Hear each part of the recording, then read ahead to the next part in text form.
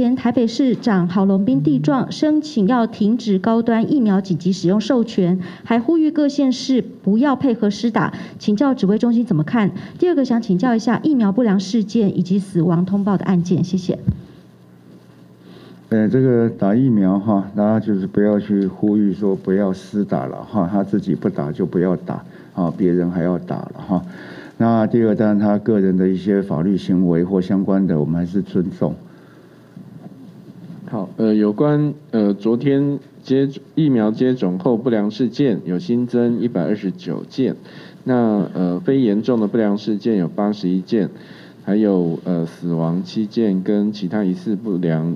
其他疑似呃严重不良事件有四十一件，那死亡的部分有六件是 A D 相关啊，一例是跟莫德纳接种后，那呃这这新增的六例 A D 疫苗接种后发生死亡之不良事件，那年是七十八岁到九十八岁之间，那是呃接种疫苗后一天到四十四天之间发生。那另外，呃，同期间有新增一例，呃，这个 Moderna 疫苗接种后发生死亡的不良事件，那年龄是六十七岁，那是接种疫苗后，呃，四天发生，呃以上。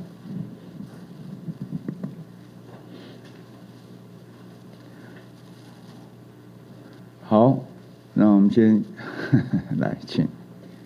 不好意思，刚刚有提到就是说年轻人嘛，就是说。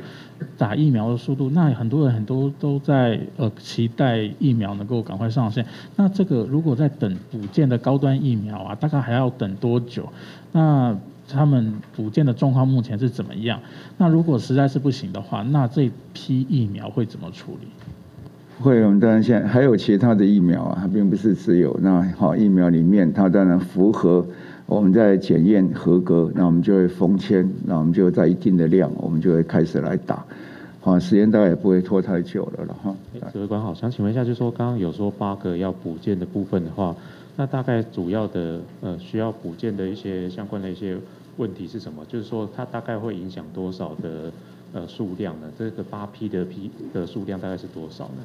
呃，这基本上这个量哈，当然我也不是很清楚，但我知道这样的批数，但是基本上这都是在好检验的过程里面需要被厘清的一些问题而已。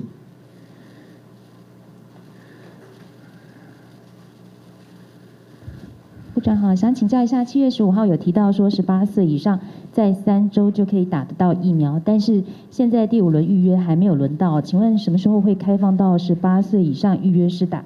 另外有专家提到说高端可以当第三剂施打，抗体浓度会增加，而且对变异株也更有保护力，未来会有这样的考量吗？谢谢。因为专家的意见我们都尊重了哈，不过我们当然还是要有专家的共识了哈，那才能够让我们在做这个施打的计划里面，好能够好就是做得更完整。